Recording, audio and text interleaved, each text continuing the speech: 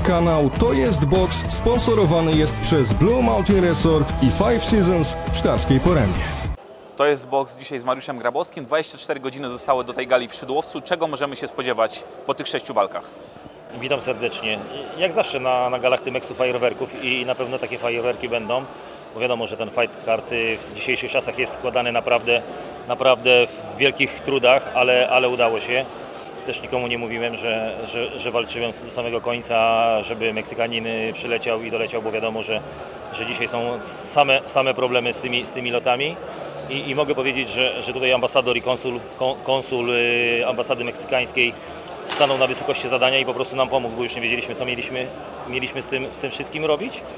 I powiedzieli nam, że to jest drugi, drugi zawodnik z Meksyku, który wleciał, wleciał do Schengen. Dlatego, dlatego też jest nam niezmiernie miło, że, że udało nam się do tego doprowadzić, żeby ten Meksykanin w Polsce wylądował. E, Jak bardzo ucierpiały gale Tymexu, jeżeli chodzi o budżet, ponieważ dzisiaj nie mamy w ogóle e, kibiców, nawet tych e, elitarnych, takich VIP-owskich, jak mieliśmy na przykład w Pionkach.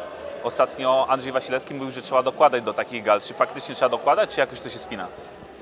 Wiesz co, jeśli, się ma jakieś zobowiązania i się chce po prostu w to bawić, bo, bo, bo nie ukrywajmy, że, że, że ja tym boksem po prostu się bawię, mamy, mam umowy z chłopakami, po prostu chcę dotrzymywać słowa.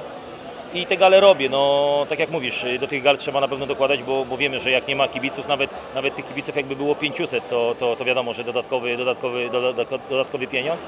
A tak to trzeba za każdym razem dokładać, teraz kibiców nie ma, wiadomo, wszystko, wszystko dzisiaj kosztuje, tutaj się ceny nie zmieniają, czy to LEDa, czy, czy światła. My, my cały czas dalej nie, nie oszczędzamy, tylko po prostu robimy, żeby to było widowisko i żeby to było show, żeby w telewizji to wyglądało jak najlepiej, bo po prostu jeśli mamy, mamy oszczędzać i robić dziadostwo, to lepiej w ogóle tego nie robić. Dlatego myślę, że wobec chłopaków jesteśmy, jesteśmy szczerzy, chcemy robić, żeby boksowali wobec, wobec kibiców, wobec, wobec siebie, żeby, żeby ten obrazek wyglądał jak najlepiej w telewizji. E, Czego możemy się spodziewać po Maćcu? Czy on jest w formie, bo zapowiada dużo, nawet mówi o pasach, e, odważnie bardzo e, mówi o tej swojej karierze, wcale nie mówi, że nie chce odcinać kuponów. No powiem szczerze, że, że na pewno, na pewno jak, jak widzicie tutaj nie ma kalkulacji i w zestawieniach czy fight karcie gali Team Xbox Ignite 14, bo wszystkie walki są na pewno, na pewno ciekawe, emocjonujące i wyrównane. Tutaj, tutaj nie ma, jak ja mówię na gromdzie, nie ma miękkiej gry, dlatego, dlatego myślę, że tutaj każdy musi dać z siebie wszystko, no i, i przede wszystkim robimy to dla kibiców. Nie możemy tych kibiców oszukiwać, że ktoś wejdzie do ringu i się przewróci. Dlatego, dlatego tak nie chcemy. Łukasz Maciec y, po po, po dwuletniej przerwie na pewno marzy o, o wielkiej karierze.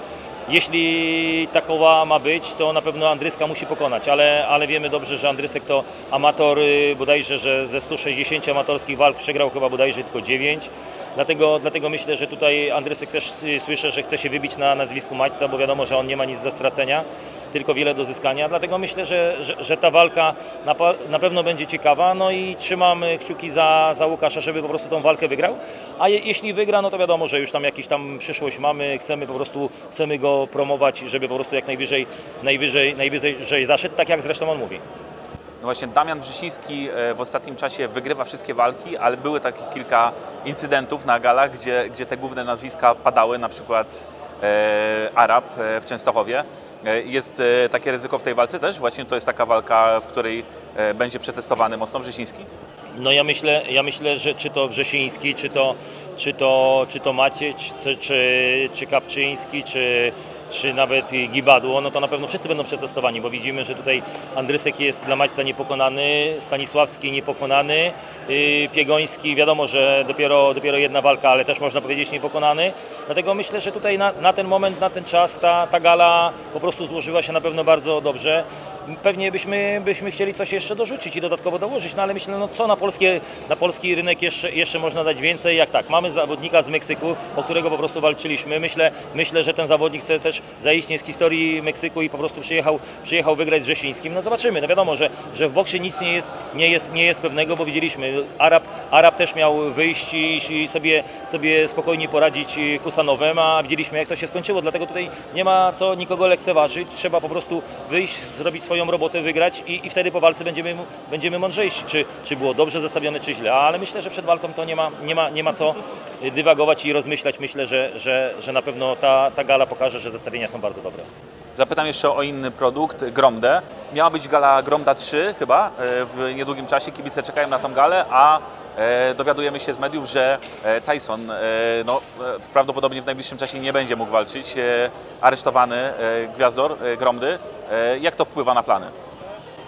Nie wiem dlaczego e, mówimy to w czasie przeszłym miała być. Gala, gala Gromda jest, jest normalnie i, i, i normalnie w te, zamierzonym terminie, który, który będziemy organizować, na pewno, na pewno ona będzie. Jeśli chodzi co, co wydawanie opinii na temat, na temat Tysona, Tysona i, i, już, już go skazywanie, skazywanie na jakieś tam pożarcie czy, czy krytykowanie, myślę, że to jest bez sensu.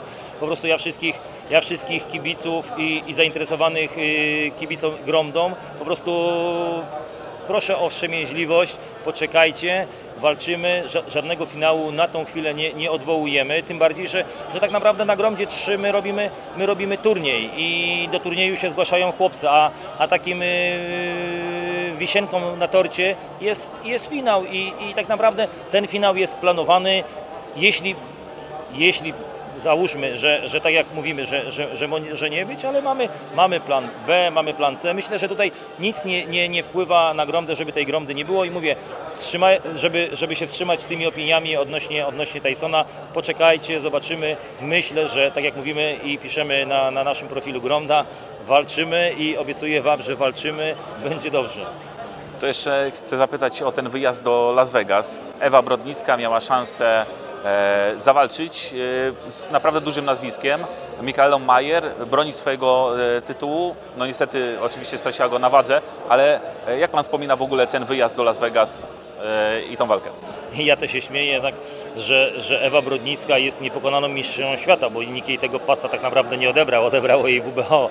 Dlatego wiadomo, że przez wagę, ale też nie do końca tak, tak było, bo, bo wiadomo, że wagę, wagę próbną mieliśmy w hotelu, nie mieliśmy, wiadomo, że nie braliśmy wagi z Polski, żeby wieść tą wagę z Polski i, i po prostu tam ta waga oszukiwała, bo po co robić, po co robić dodatkowe, dodatkowe gramy czy, czy, czy, czy kilogramy, jeśli waga pokazuje, że jest limit. No i Ewa była pewna, że ten limit będzie na wadze hotelowej. Później się okazało, że, że, że tego limitu nie ma, no i kombinowanie, obcinanie włosów i, i, i tak dalej. Ale, ale myślę, nie ma, nie ma tego złego, by na dobre nie wyszło. Na pewno szacunek dla Ewy za to, za to co pokazała. Myślę, myślę, że wielka przygoda dla niej, dla całej grupy, bo, bo wiadomo, że też, też broniliśmy tego pasa pięciokrotnie w Polsce, gdzie w historii polskiego boksu się nigdy to nie zdarzyło. Wyjazd, wyjazd jak najbardziej udany. Las Vegas na pewno świetnie, wspaniale, wszystkim polecam. No i, no i co, co więcej, no walczymy jeszcze, jeszcze. myślę, że, że tutaj Ewa nie kończy, nie kończy kariery, wręcz przeciwnie, mamy, mamy sporo opcji i zakładam, że, że powrót na, na kolejnej gali, no może nie na kolejnej, bo, bo powiem szczerze, że, że kolejną galę, galę Tymexu robimy 18 grudnia, Tymex Boxing Night 15 i mam już nazwiska na, tych, na tej gali, które wystąpią, no ale to może jutro, jutro po tej gali powiemy. A jeśli chodzi o Ewę, no to planuję, żeby, żeby wróciła w marcu. Jakieś inspiracje, jeżeli chodzi o organizację tej gali? No bo to jednak to ta, ta największa, jedna z największych organizacji Top Rank. Powiem szczerze, że dużo bym tam zmienił w tej organizacji, no ale nie było, nie było, nie było źle. Myślę, myślę że, że, że ja też się uczyłem wielokrotnie i wiele lat, żeby, żeby te gale tutaj u nas stworzyć i myślę, że, że na pewno, na pewno się, się tego nie powstydzimy. Mówię tutaj o naszych galach, czy MB, czy, czy, czy Tymexu, po prostu one są zrobione perfekcyjnie i myślę, że podobnie, podobnie jesteśmy na poziomie amerykańskim, jak nie wyżej. Dlatego myślę, że tutaj akurat, tutaj wiadomo, każda, każda Każde doświadczenie jest dobre, no ale, ale mówię, no myślę, że tutaj nie mam czego się wstydzić. Coś, e, jakaś informacja dla kibiców na jutro? Co możemy powiedzieć? Informacja dla kibiców na jutro. No na pewno oglądajcie, śledźcie. Tym Boxing Night 14 szykuje się, szykują się, się wielkie grzmoty.